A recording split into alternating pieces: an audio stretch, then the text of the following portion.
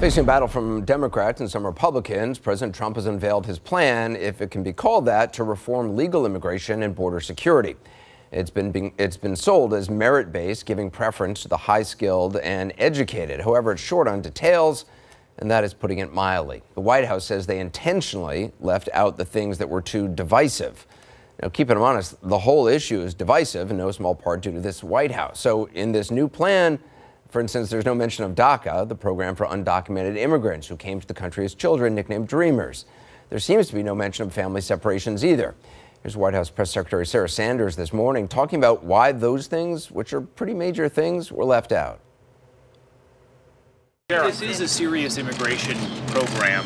Why not address the issues of DACA, of family separations? Well, I think because by? it's a serious program, it's not included. Every single time uh, that we have put forward, or anyone else has put forward any type of immigration plan and it's included DACA, it's failed. That's a divisive thing. I'm not even sure what that means. Because it's a serious plan, they didn't address those serious issues. Anyway. Moving on, the plan was so short on details that many lawmakers, including Republicans, said they don't even consider it a real legitimate proposal from the White House.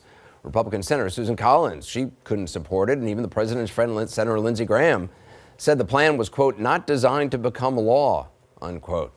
So, what is it designed for? Because before today, this was all supposed to be easy if the Democrats would only just play ball. We have a crisis at the border, both a national security and a humanitarian crisis. Democrats have got to stop ignoring the problem, sit down with the president at the table. The time has come for the Democrats to come to the table and start negotiating. I think if the Democrats have those type of concerns, then they should sit down at the table and negotiate with the president. Time for Democrats uh, to work with us and fix this problem. Look, it's time for Congress to come to the table. It's time for them to come to the table and work with us. It seems like a talking point. But after today, what are they supposed to do to actually work on? That isn't even clear. Earlier tonight, I asked Democratic Congresswoman Kathleen Rice, who's a member of the Homeland Security Committee, what she thought of the president's plan. Congresswoman Rice, I wonder, what did you make of the president's speech today? Was there anything in there that, that you could get behind? Uh, not likely, Anderson. I mean, I come from a district in New York that has a total of about 10,000 DACA recipients and TPS holders. So uh, it doesn't even address that issue. So I think it's going to be a non-starter for someone like me. That's just in my district. But but looking at the larger issue, if you're going to really try to address the issue of immigration, you need input from both uh, Republicans and Democrats. I don't think they got input from anyone. Uh, certainly not anyone on the Democratic side, and not even any Republicans. This was a plan that was hatched by uh, the president's son in law, Jared Kushner, who, to my knowledge, has no uh, background expertise on immigration, and by Stephen Miller. And we know uh, that he was the architect of the family separation policy along with Jeff Sessions. So um, there really was nothing uh, that, that from which we could start, I don't think. it, it is interesting that DACA was not even mentioned. I mean, the president, remember, he held that. Uh, bipartisan meeting uh, one time in the White House, and he seemed to be siding at first with Democrats, saying that you know, he wanted comprehensive immigration reform, and then he was reminded by Republicans that that's not really a term that he's supposed to be using because it has a different connotation that he perhaps understands. But to not include DACA in any speech, obviously it's going to be a non starter for Democrats. They've made it clear that DACA has to be part of comprehensive immigration reform.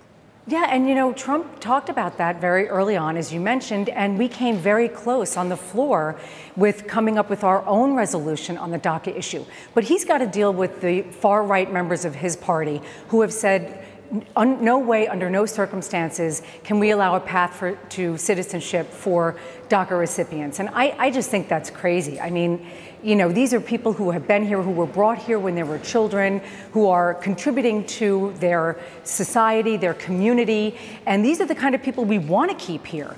Um, so I, you know, I, I think it's going to be a very difficult sell, not just for Democrats to get Democrats on board, but also there are a lot of Republicans who want to address the DACA issue as well. In terms of this proposed shift toward uh, what the president is referring to as a merit-based system, the you know, you read the Emma Lazarus quote on the Statue of Liberty, and it's, you know, give me your tired, your poor, your huddled masses. It doesn't say, you're educated, you're wealthy, you're English speaking masses. Yeah, I mean, Anderson, I, I'm here because my father's father came here when he was 12 years old.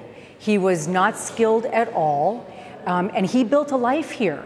And so, what he is saying is to, to forget about what he's saying about families. Like, if you're an individual who wants to come here and make a better life for yourself, you're, according to this plan, you're going to have to do it by yourself here and leave the rest of your family, whether it's your wife, your children, your mother, your father, your cousins, all back home. I mean, he puts no value whatsoever on keeping family units together. And we know that immigrant families have been coming here and built this country into the greatness that it is. Um, forget about that. And to say that you have to be able to speak English, I mean, there are some people in that Trump knows himself that didn't know English when they came here. Um, so I think that's kind of crazy uh, to, to make it, and, and when you say merit based, uh, I, I, just think that that's uh, forgetting about how important it is to make sure that we allow a diverse group of people come here through our immigration system. We need that kind of diversity. It is what America is based on. It's what has made this country so great. And his plan today would completely do away with that. And just lastly, I guess the question is if this proposal doesn't satisfy what Democrats want out of immigration reform and doesn't really satisfy what Republicans want out of immigration reform, what was the point? Well, I, I, can tell you what the point was. As I was listening to it, I thought, wow, this would really be a great political ad. Uh, and that basically, at the end of the day, is what he said. Look, if we don't, if I can't get this passed, let's win. And, and I'm not really serious about this. I'm just saying this because all I've done for the last four years is talk about immigration, immigration, immigration.